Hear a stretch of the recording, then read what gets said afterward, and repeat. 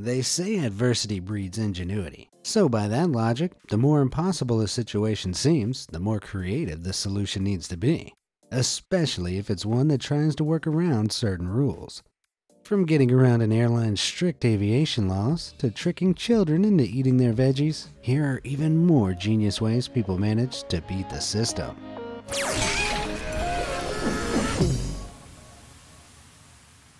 Almost every airline in the world enforces the notorious no liquids over 3.4 ounces in carry on baggage rule. This was imposed in 2006 after police uncovered an extremist plot to blow up seven planes mid flight using explosive liquids disguised as beverages. Today, this makes bringing things like your own drinks onto a flight almost impossible. Small price to pay to not be blown out of the sky, I guess, but still kind of annoying. Especially considering how expensive some airport stores can be. Fortunately, there's at least one stone cold genius among us, if Twitter user Isaac Haxton's story is anything to go by. Back in 2013, he was stood behind a woman at airport security who was carrying a large bottle of frozen water. When the guards tried to take it off her, she argued that technically it wasn't a liquid. Now, I didn't know this, but according to America's Transport Security Administration, you can bring ice and frozen liquids onto the plane as long as they're frozen solid when presented for screening. They won't let it in if it's partially melted or like a slushy, but if she kept it completely frozen in something like a cooler through security, she shouldn't have had any problems. Outstanding move.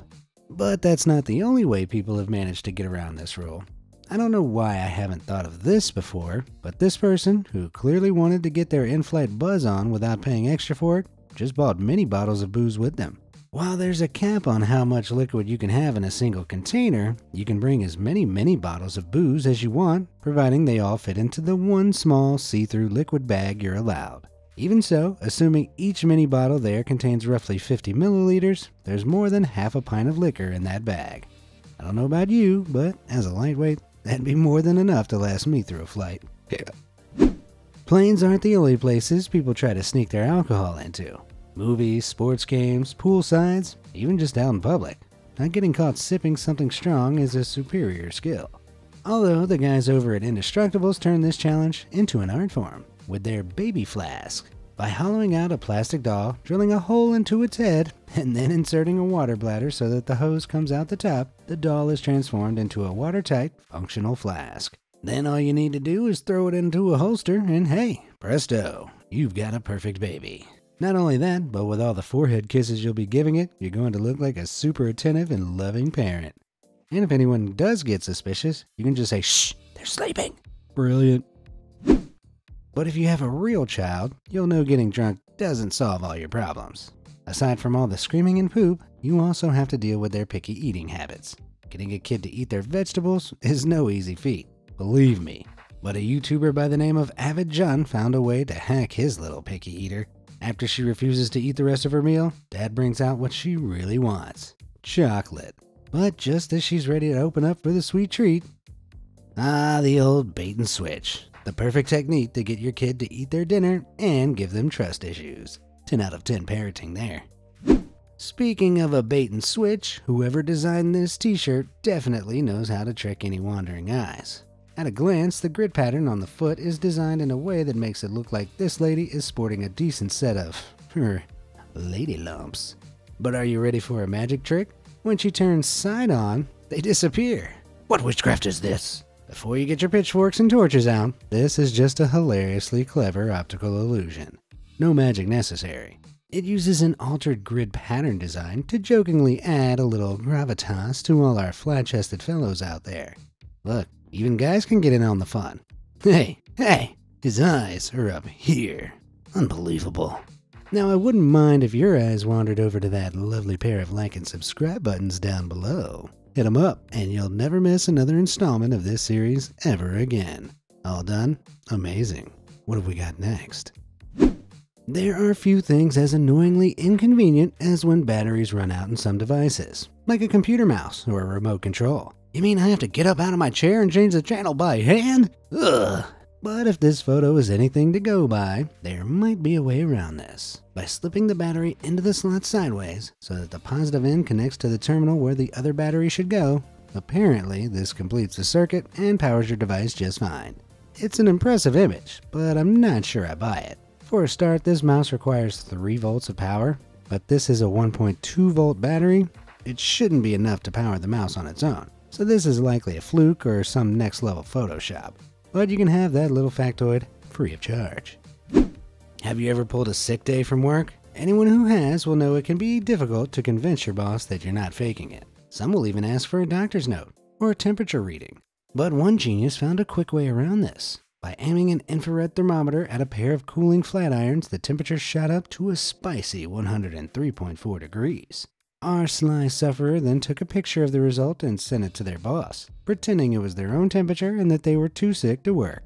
It looks legit, the only issue might be that with a fever as high as 103.4, their boss might be wondering why the heck they're not in the hospital. Ride on mowers are fun, but after a while, they can get pretty repetitive and boring. If only there was a way to increase your mower's mowing capacity and reduce the time you're stuck on it, cutting line after line. Wait, look! Someone's grandpa is on X Games mode. He has hooked six regular mowers up to his ride on like some sort of lawn loving reverse Santa. But hey, the mowers seem to be doing their job, giving him an extra wide cut. Talk about working smarter, not harder. Speaking of working smarter, there's a farmer over in East China's Jiangsu province with an invention you just have to see. The rice fields planted throughout this area are vast and need to be regularly sprayed with pesticides to prevent insects from getting to them. But disturbing the crops with heavy machinery could kill the plants which is what inspired one farmer to invent this incredible contraption. It's a pesticide sprayer that's been hoisted up by helium balloons. While being gently walked over the crops, the nozzles on the tube can spray an area of 575,000 square feet per hour. That's enough to spray around 10 full sized American football fields worth of crops every 60 minutes. Very rice indeed. If there's one thing I hate, it's arguing with my girlfriend. I can never win. What I think I might need to do is take a leaf out of the Searle family's book, considering this is how they get around argumentative ultimatums. Going, bro. If you walk through that door, we're done. If you walk through that door, if you walk through that door, we're done. Wow. Technically, he didn't walk. He rolled like a boss. I wonder if her wow at the end there was because she was so impressed by his logic. I mean, I doubt it, but you better believe I'm going to be using this to win arguments with my girl from now on. Don't you hate it when products have a little sticker that either voids the warranty or forces you to accept the end user agreement when it's broken? Well, when Reddit user Fofer was presented with this seal on a software CD which read, Breaking this seal constitutes acceptance of the end user license agreement, they decided they wouldn't be playing by those rules. They left the seal intact and proceeded to rip the CD out of the bottom of the case. Hey, the seal's been left intact. This is the physical version of not checking the I agree to the terms and conditions box. Okay, ladies, I'm sorry on behalf of all mankind for some of the messages you get online. I don't know how you cope, quite honestly. Although there's at least one girl named Denise who's found a way around some of the gross requests that men slide into her DMs. A man by the name of Marcus asked to see a pic of Denise in her bra.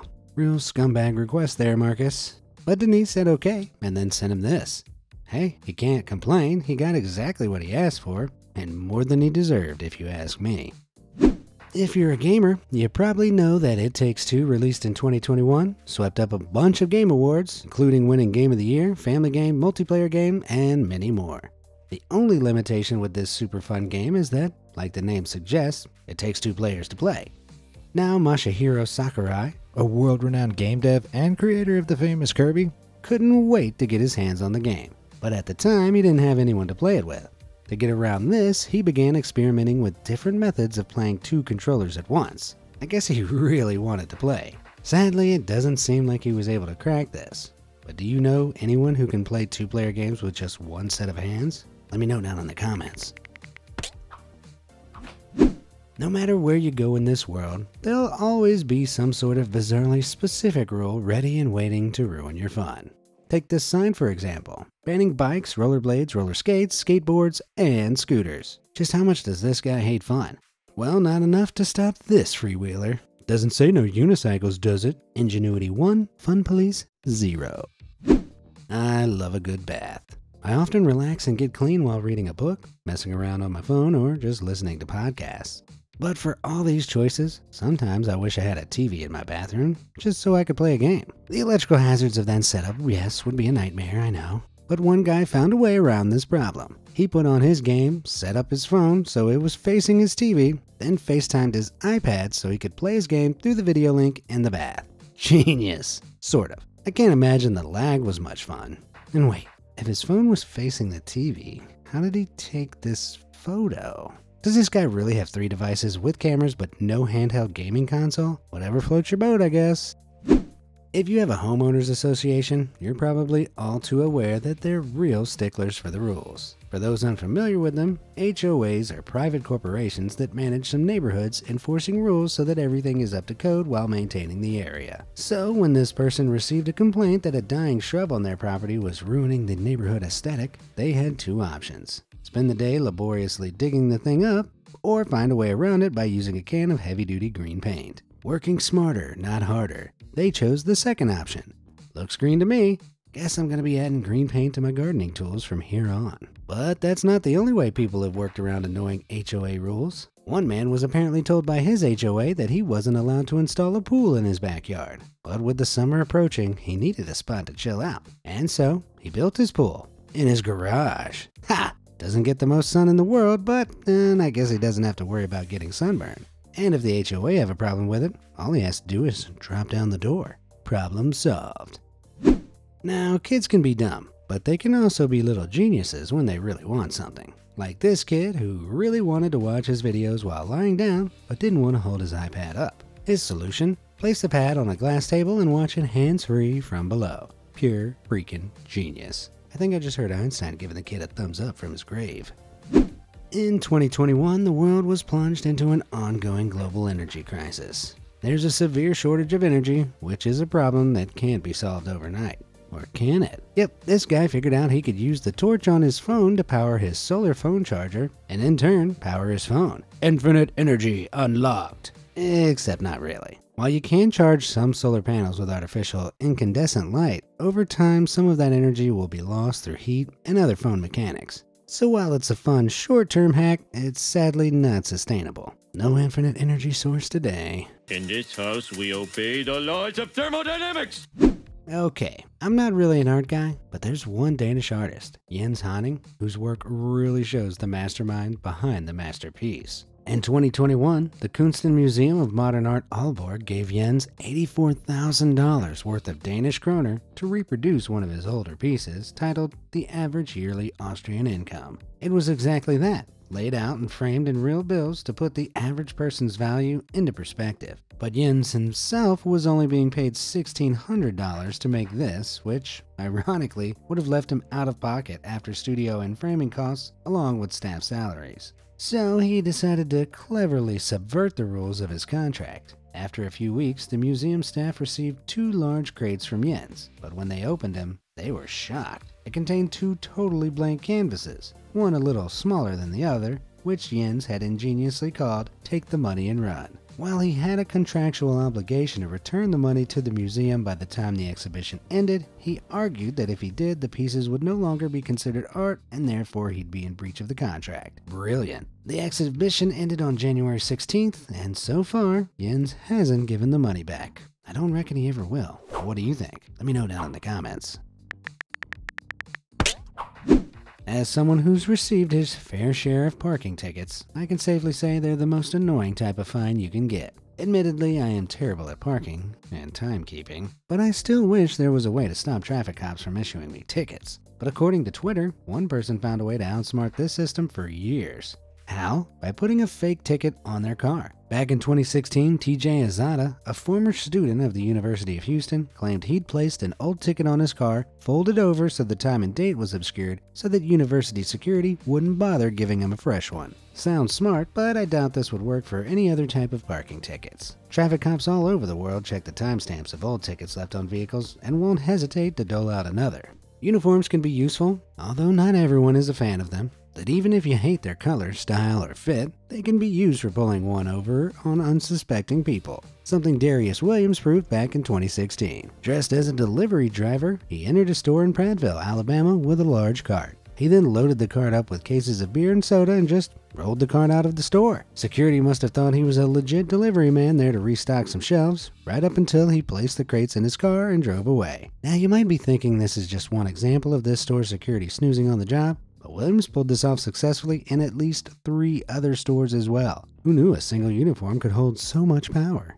But uniforms can be used for fooling more than just store security. In that same year, two Australian men used a couple of blazers with fake emblems on them to pull one over on, get this, North Korea. Yep, the Hermit Kingdom was had by a couple of jokers from Brisbane back in 2016. Morgan Ruin and Evan Shea were on a polo tour in China when they decided, on a whim, to enter the North Korean Amateur Golf Championships. They signed up via email claiming to be part of Australia's golf team and even had a set of fetching green blazers made, complete with the country's emblem, to look the part. Now, usually anyone wanting to visit the secretive state has to go through an authorized pre-planned tour company. They perform several background checks to ensure the individual meets a strict set of criteria before issuing or denying their visa. But despite using a lie that anyone with Google could debunk in a matter of minutes, North Korea's officials welcomed them with open arms. For three days, they were wined and dined, chaperoned around the capital of Pyongyang on official tours, and were treated with the utmost respect. But their plan quickly fell apart when they hit the golf course, where they scored so badly they almost came dead last. Luckily for them, this wasn't really a serious sporting event, as the championships had been arranged by a tour company called Lupine Travel, who stipulated that literally anyone could come and compete, no experience necessary.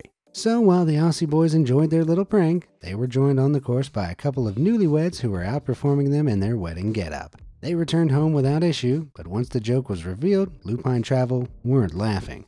The company apparently demanded the pair return to the state and make an official apology on live TV for duping the system, but the pair obviously declined. These pranksters know a trap when they see one. Which of these geniuses do you think was the most creative? And have you ever slyly pulled one over on the system? Let me know your stories down in the comments below, and thanks for watching.